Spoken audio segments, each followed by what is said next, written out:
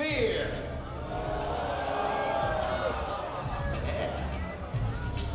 Now this contains some of people's worst fears, so let's check them out. We have some cockroaches, snakes, tarantulas, even emperor scorpions, which are by far the nastiest of the bunch, but they're my personal favorites. Of course they are. Yeah. All right, we're hanging out with Virgil today. It's his daughter Sophia. Sophia,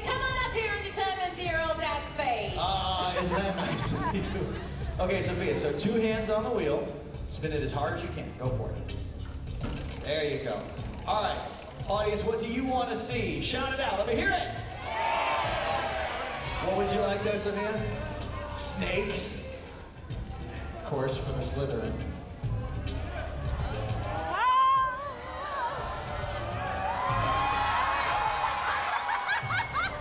Well, that's a pretty good spin there, Sophia. Not bad at all. Hey, Virgil. Darling dog over here. She gave you the Emperor Scorpions. Yay!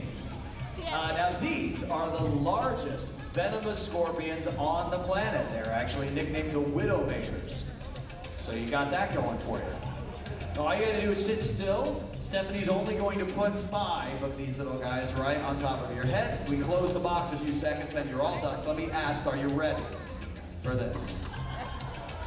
All right, he's giving some right thumbs up. Sophia, I feel like you need to lend your dad some moral support. I know that's not really in the Ravenclaw thing, but maybe you could read him a book or something. yes. Look at her, she's like, no. No. Solve a riddle for him, the riddle of the desert hat box. I don't know. All right, let's all count down together. In three, two, one, go!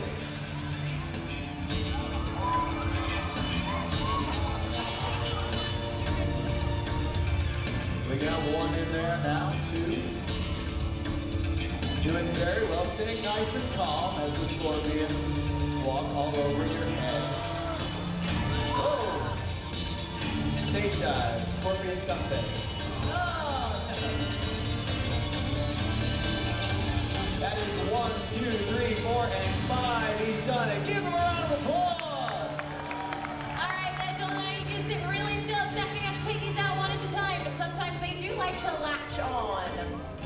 It's actually the most dangerous part of the stunt because when scorpions lose their footing, they do want to try to latch their little pincers onto anything that they can. Stuff like your ears or your hair.